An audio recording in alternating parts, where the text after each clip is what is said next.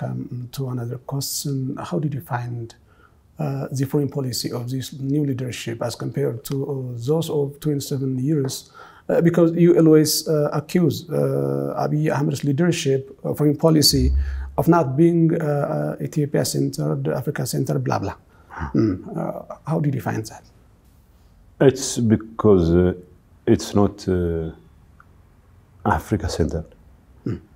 It's, it's as simple as that. I mean, you know, the, the, in the first place, I'm not sure if the PP leadership has a foreign policy at all. Mm.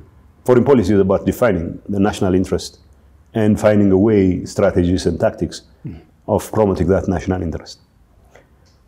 So, what are Ethiopia's national interests? Abiy wouldn't tell you. So, making friends with, with um, every leader for him means making friends on a personal level. For example, the prime minister made ridiculous remarks to diplomats that he was working on the mediation effort between Korea and uh, Japan. Mm. I mean, this would have would have would have uh, sounded like um, a sick joke. Uh, but he said it in earnest. Uh, he went to Egypt to make peace with Egypt. And I remember discussions in uh, the executive committee of the ruling parties and ruling party. He was telling us Egyptians are not our enemies anymore. Oh, we have never said they were our enemies, but there was a clear uh, misunderstanding on the part of the Egyptian uh, establishment, political establishment, to consider Ethiopia as their arch enemy. So so he, he would he wanted us to believe that uh, Egypt was now 100% uh, in favor of Ethiopia's uh, right to develop and all that. Mm -hmm. so he make he made all kinds of wrong choices of venue, wrong choices of friends and everything, because it's not about whether or not he was capable uh, capable or not capable of diplomatic skills on that. That's, that's secondary. Mm-hmm. That's probably irrelevant. Diplomacy is first and foremost about articulating your own interest, the national interest of the country. Mm-hmm. And of course, once you articulate the national interest of the country, and whatever relationship you are going to establish should be a function of whether or not that national interest is going to be promoted through that relationship, okay? So if someone, one country stands in the way of the, the promotion of my national interest. And then I would have to deal with it as an enemy. Not as a perpetual enemy, but to the extent that it is going to stand, its behavior is going to stand in the way of my national interest. And then I have to deal with it accordingly. So, uh, second, one has to have a policy. To do diplomacy, one has to have a, a clear policy the first 27 years of, of, uh, in 1991, the most important thing that was done was there was a clear policy. So it defined the national interest of the country, and it defined uh, lack of democracy and uh, poverty as a twin challenge that that uh, threatened the very survival of the Ethiopian state. And all our di di diplomatic activities, all our foreign relations activities were geared towards addressing the two challenges. Okay. Mm. Now, what what are the priorities? You tell me you're very good friends with Egypt. You tell me you abandon your African brothers and then you allow your case to be uh, mediated by the World Bank and the uh, Treasury Secretary of the United States, it's not even normal for the Treasury Secretary to, to, to be involved in diplomatic activities on behalf of the United States. It was an agenda that was absolutely mind-boggling because uh, as, as an Ethiopian leader, he should have known better than abandoning the African African forums and shopping for other venues, which you expect will help, help you ingratiate yourself with the big wigs of Western Western leaders. That's that's that's secondary. Abiy's focus should have been dealing with poverty in this country. But, but what do you mean by abandoning African friends? Look, to the extent that mm. Egypt and Sudan and Ethiopia had issues, mm. the forum was either the trilateral arrangement or the cooperative framework agreement or the AU or you know another African institution. The Ethiopia peace deal was signed in Jeddah. Uh, in fact, uh, the uh, leaders of the Saudi government were, uh, were uh, gracious enough to invite Paul Kagame, the then uh, chairperson of African Union, to come and join them for the celebrations. And in Saudi? It's in Saudi. And it was strange because uh, a peace deal between two African countries, which was essentially a headache that has been a headache for, to, to the Af- African Union for mo- more than 20 years, was being addressed not by the African Union, but by Saudi and United Arab Emirates. So while he was pondering whether to participate in that, um, in that forum, in fact, President Isaias uh, decided that uh, he would abandon the Jeddah uh, forum uh, if um, Kagame also was invited. So he doesn't, he didn't want President Kagame to, to, to, to be there. So the Saudis had to de- in, other disinvite. word, in other words, the African Union. Yes. I mean, Ethiopia has been a beacon of hope for Africa for, for, for very good reasons. Ethiopia under Mengistu, Ethiopia under Haile Selassie, Ethiopia under Meles Zenawi, more importantly, was the pride of Africa. We could have uh, our own um, so many failings, but uh, when it comes to the issue of Africa, uh, we have a very stellar record. But for uh, an Ethiopian leader to not even inform IGAD, by the way, it was IGAD which decided to sanction, to impose sanctions on Eritrea. Eritrea. It's unprecedented in the history of Africa. African Union imposed sanctions on, on its, its members. It's unprecedented in its history because of its recalcitrant behavior. And of course, it was the decision, the unanimous decision of the African Union, IGAD, which then won, won, won, won um, uh, the day in the United Nations Security Council as well. So Er- Eritrea was sanctioned by the United Nations Security Council, and it was a consistent effort by IGAD and AU. And to the extent that there was a progress in the peace process between Ethiopia and Eritrea, it should have concerned IGAD and AU more than it did concern uh, the Emirates or uh, Saudi Arabia. So uh, you see, it's, it, it, it, it's very painful in the sense that these are not things that should be considered lightly because uh, everything we, we do, we do it in consultation with African brothers, with our African brothers. Uh, you- IGAD, they, they, because President Isaias uh, doesn't have the appetite to countenance whatever efforts of IGAD. He, he wants to skirt IGAD and he wants to create a sort of a Horn of Africa feder- confederation of Somalia, Ethiopia, and uh, Eritrea. Well, the strangest thing is three of the leaders do not have dependable grip on their domestic constituencies, but they, they want to create a facade of strong leadership at regional level. That, of course, is uh, being done at the expense of uh, IGAD.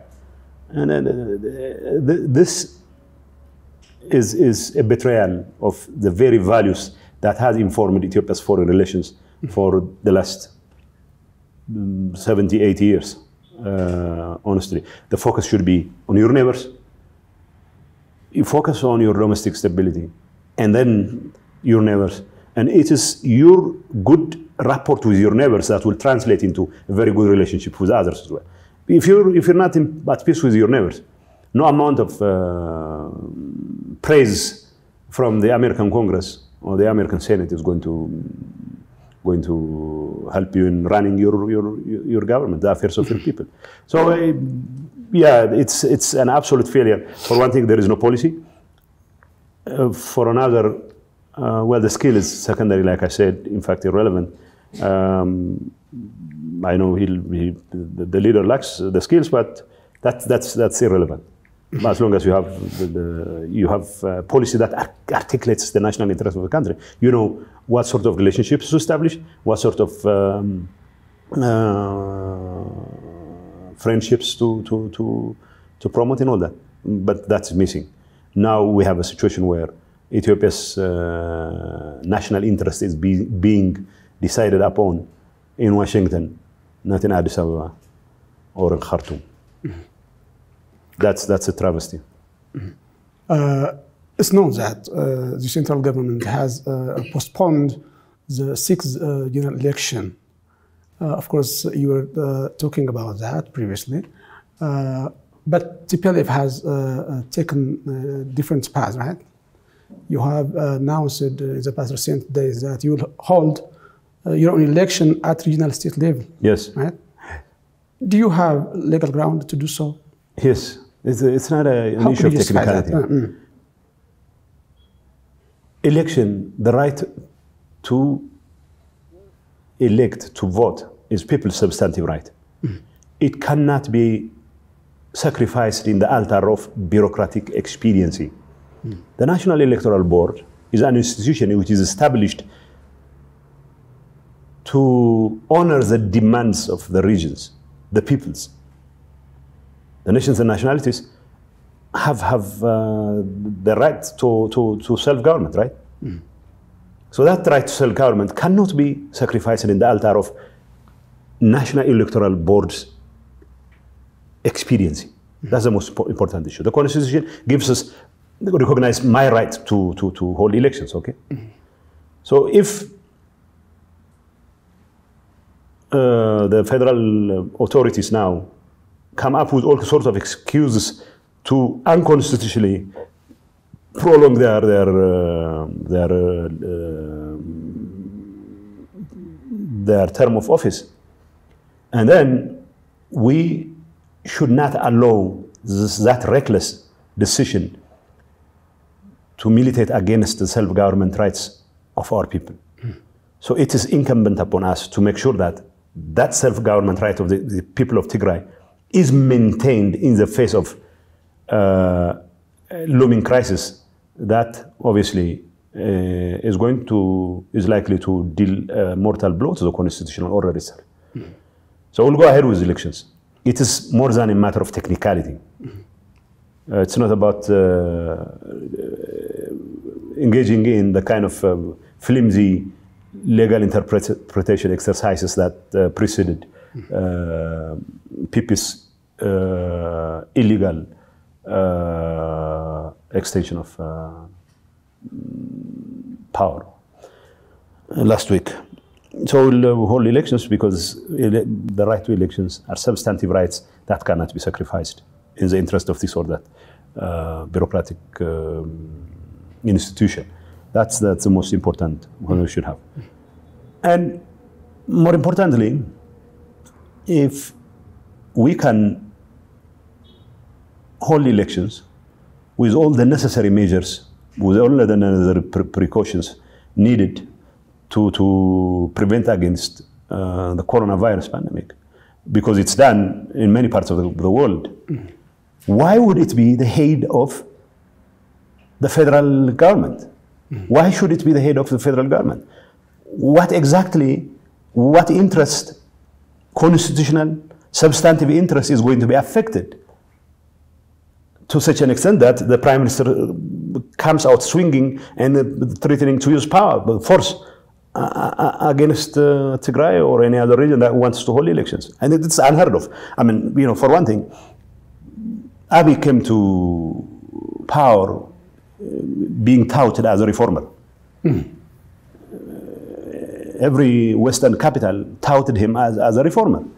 And it, it, it would sound very strange for a so-called reformer to, to, to, to threaten use of force against a, a region that simply uh, decides to hold, to go ahead with elections. Elections are uh, one uh, aspect of the reform. So, uh, frame fair elections are one aspect of the reform Abiy uh, uh, purportedly undertook when he came to office. Now it's, it's kind of strange because why would you threaten to use force if at all it was possible? Uh, well, well, well, that will, whether or not there is going to be use of force, let's cross the bridge when we come to it. But uh, it is strange for a leader, like I said, who touted as a reformer to use, to, to, to threaten the use of force against a region that, that uh, simply says it will go ahead with elections. It's, it's very strange. Uh, will go ahead with elections. Mm-hmm. My guess, it's my, my piece of, uh, piece of my, I mean, I, am just going to share a piece of advice. Mm-hmm. Here is maybe uh, the, the, the PP leader is more worried about whether or not he has absolute control over each and every part of the country. Mm. He doesn't have absolute, absolute control over uh, Oromia, I know for a fact, because Oromia uh, mostly is under command post. He doesn't have absolute control over the south, I know for a fact. It's under, uh, whether he has absolute control, uh, but at least he has absolute control over who controls the state houses in every region. So he gets to pick the regional presidents of Somali, he gets to pick the regional president of uh, the South. He gets to pick the regional president of Oromia and all that. The only person he didn't get to pick, pick get to pick is the regional president of Tigray. And that, that, uh, that uh, doesn't sit well with his authoritarian uh, uh, ambitions. Mm. And it's very unfortunate that he has authoritarian ambi ambitions. It's, it's equally unfortunate that Tigray is not going to countenance uh, such overtures by, by, by uh, the PP or uh, the leader of the PP himself. Now, the point is, if he thinks holding elections is going to make him feel weak, he's wrong.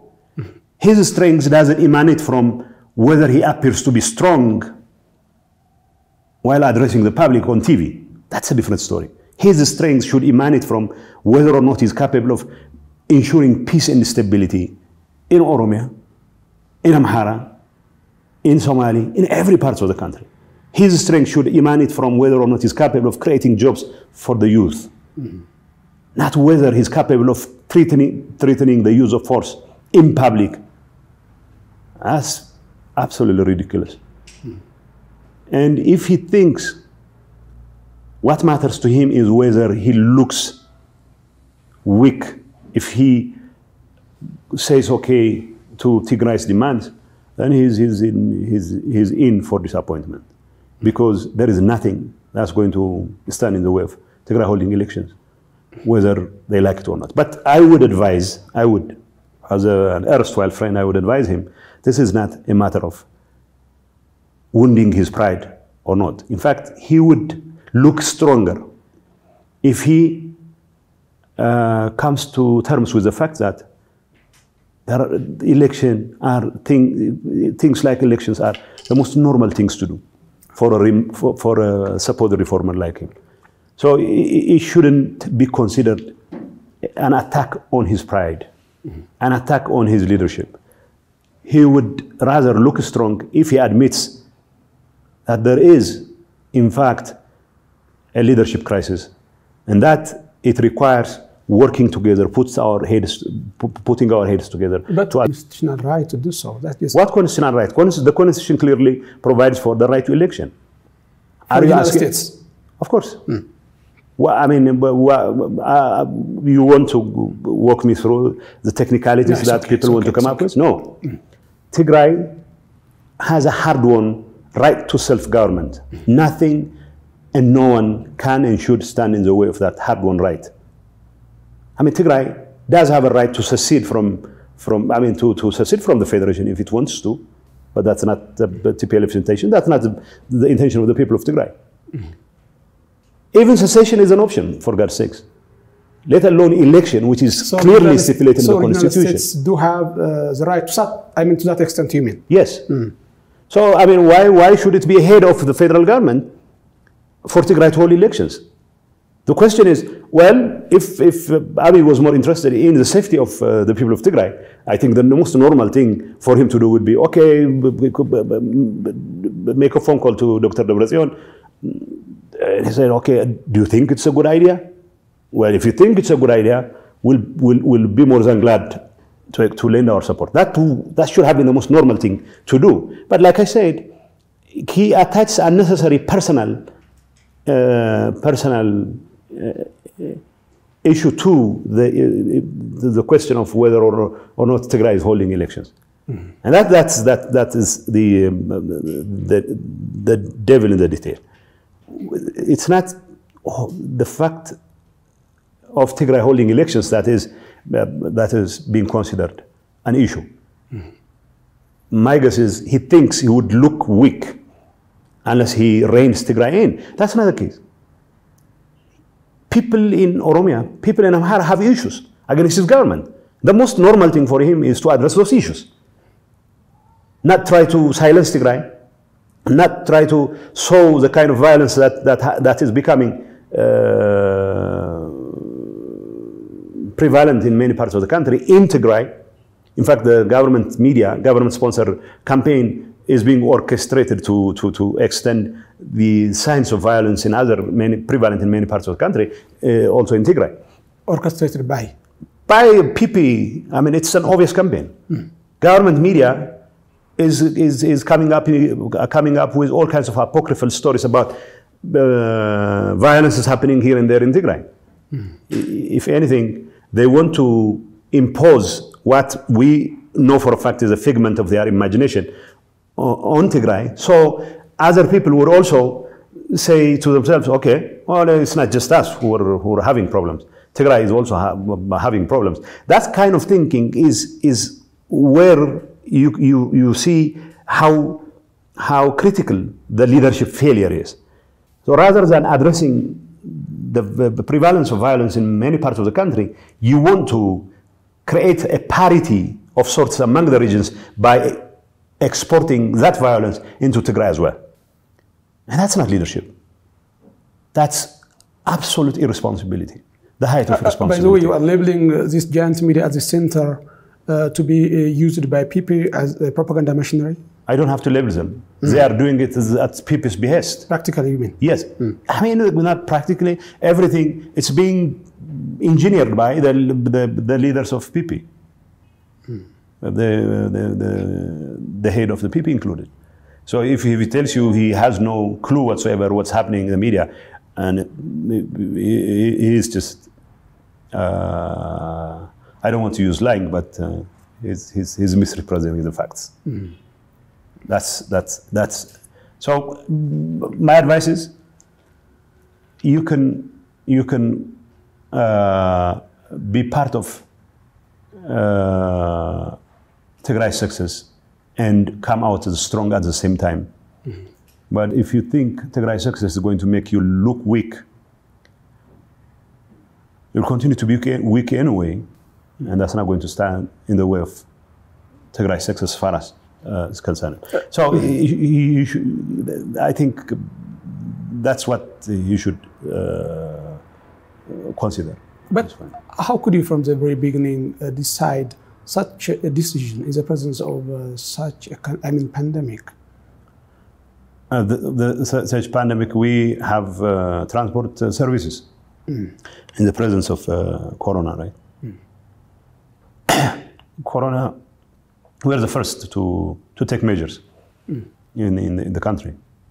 We imposed a state of emergency, and we are doing everything uh, the party structure, the government structure from high above all the way down to uh, the Wahyo, the Tabia level, Kebele level, is fully engaged in addressing this, this, uh, this concern.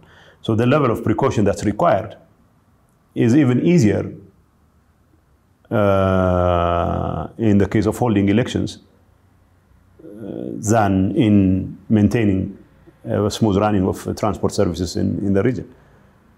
So we're not going to hold elections in the stadium.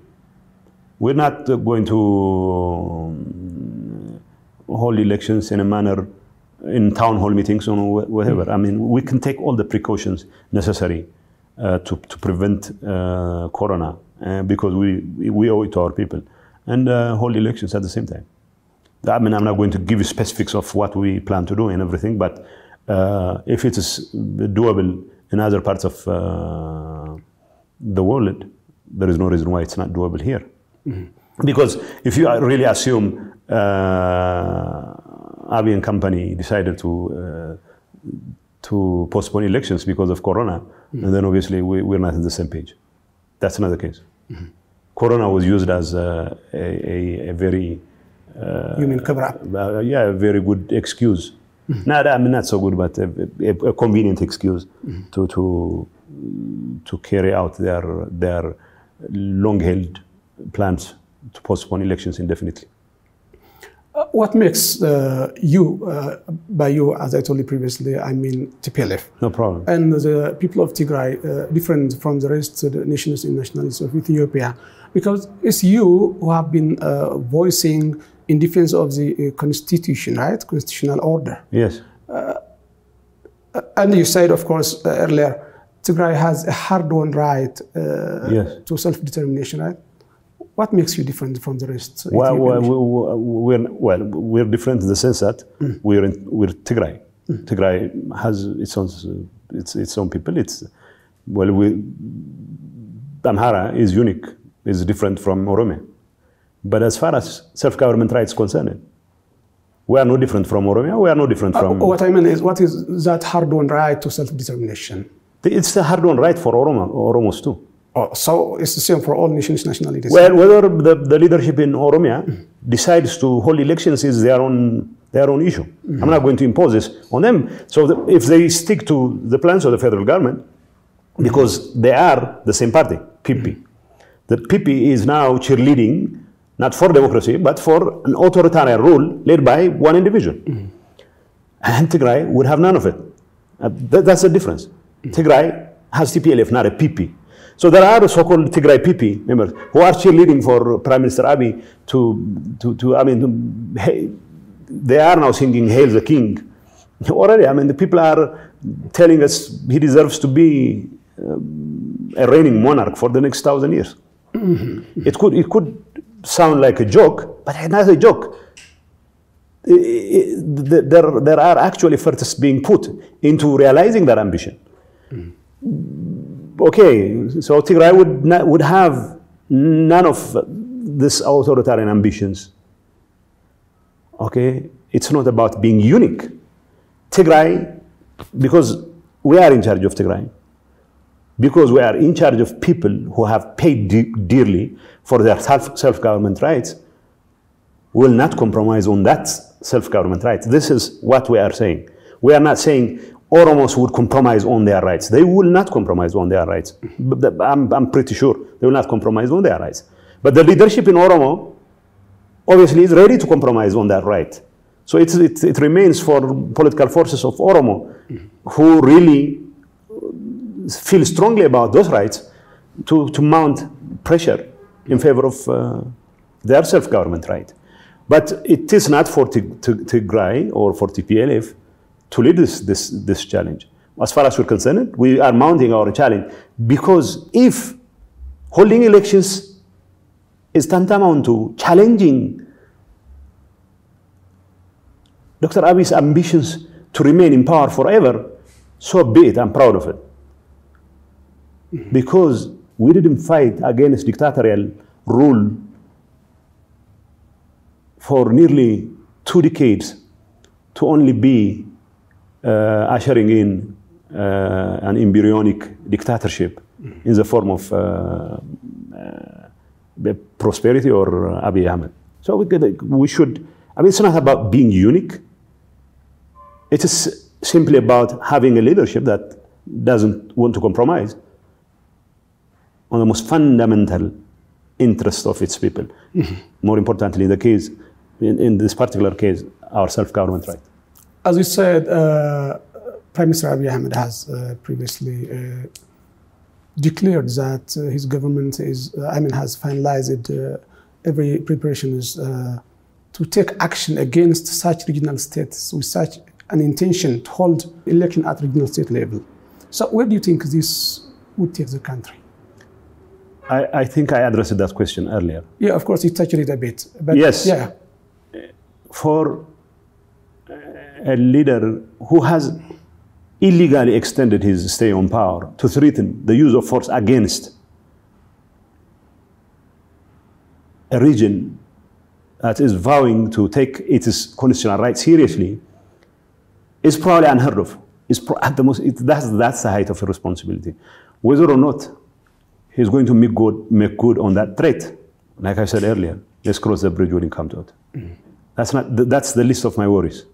My worry is that there is a so-called reformer who is who was being praised to the skies by the Western capitals as, as being the poster child of reform, coming out swinging and threatening to use force against a regional state that, that simply said it would do the most normal things any functioning, functioning state does, holding elections. Mm-hmm.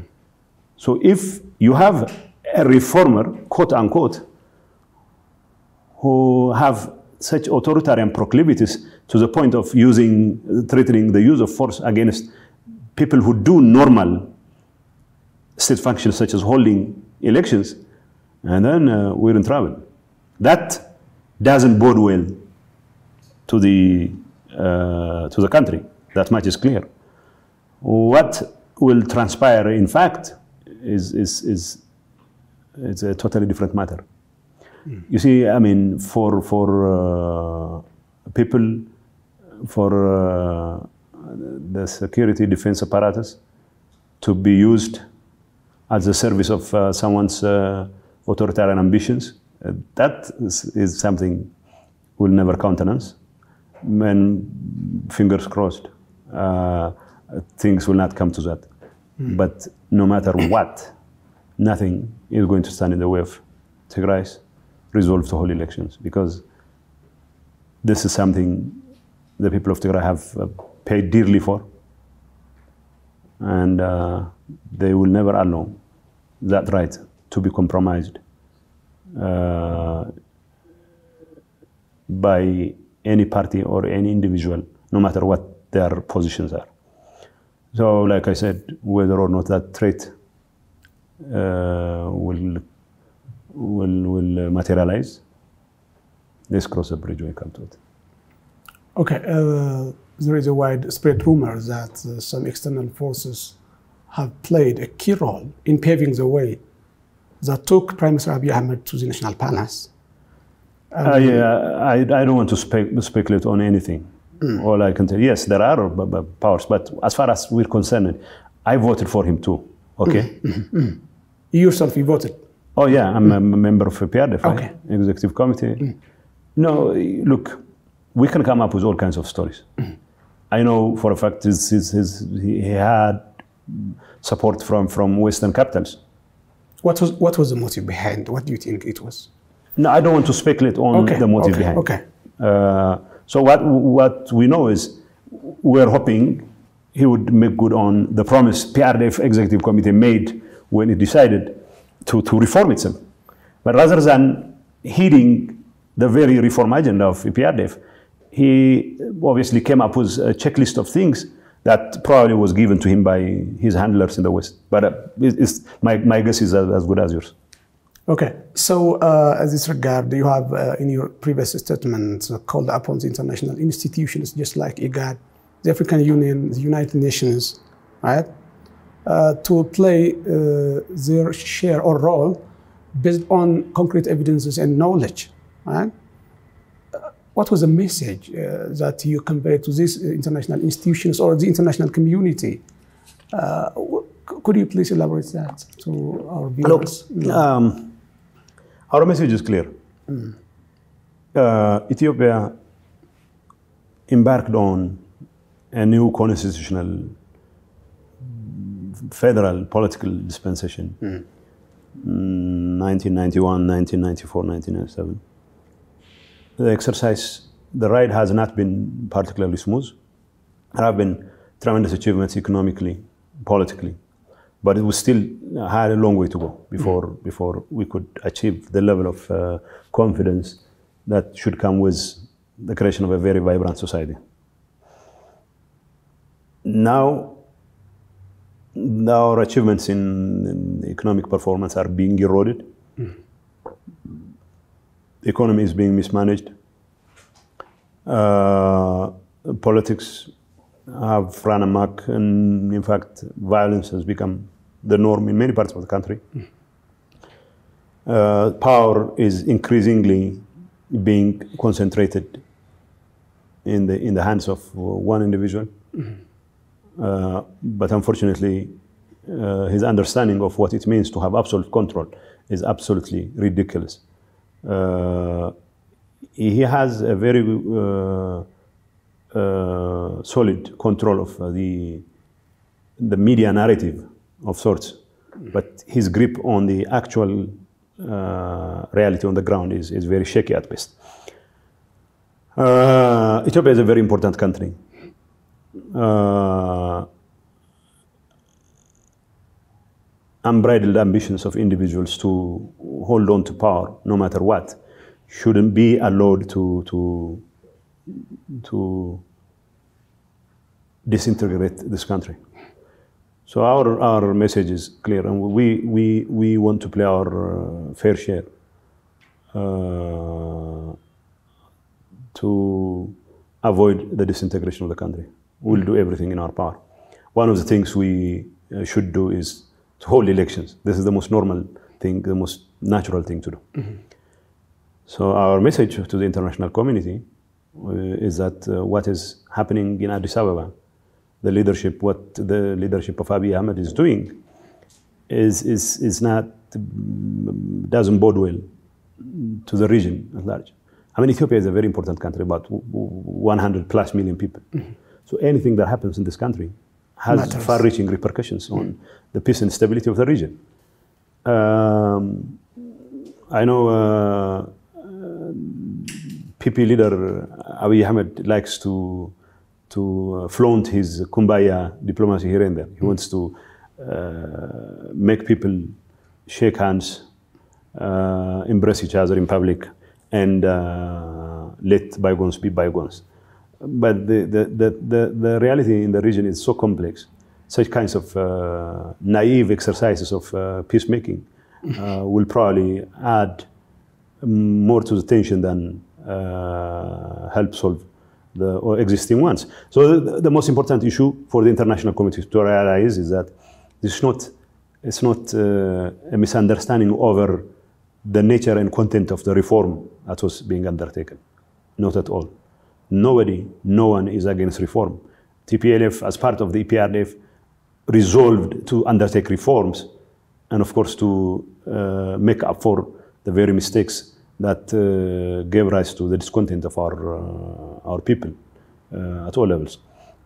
So it's not about the content and the, the, the nature of the, the, the well, the, we have differences on the nature of, about the nature of uh, reform, but at least it's not about it's not a, an issue of haggling over the details of reform. No. It's just a question of whether uh, the multinational federal arrangement, which is holding the nation together, should be given uh, uh, more chance, uh, or whether a unitary arrangement that is hand tailored to the demands of one individual uh, because this such an arrangement, hand tailored to suit the demands of one individual or one party, is going to uh, precipitate the crisis in this country to such an extent, an extent that um, totally uncalled for decisions uh, could be made. Uh, if, uh, for example, uh, the PP leadership makes a, mis miscalculation that they, they are capable of containing uh, regional demands through force, mm -hmm. uh, then that would they would they will have decided by the time they do that they will have decided to to preside over the disintegration of the country in earnest. Of course, most of the work needed to, to, to, to, to, to do the finishing touch to the, this disintegration process have already been done. But the international community should wake up to the fact that this, what is at stake is not just the reform, the nature of the reform or the content of the reform, but the very existence of the state itself. That's why we, we took it upon ourselves to, to at least communicate to the international community that the, trade, the, the, the, the, the crisis uh, in this country should be really looked at uh, for what it is than what uh, the, the, international media often try to port portray it. Uh, uh, it's not a question of one group standing for reform and another standing against. That's that's far from far from um, the truth. What do you think would be uh, the worst case scenario if the existing situation continues the way it is now?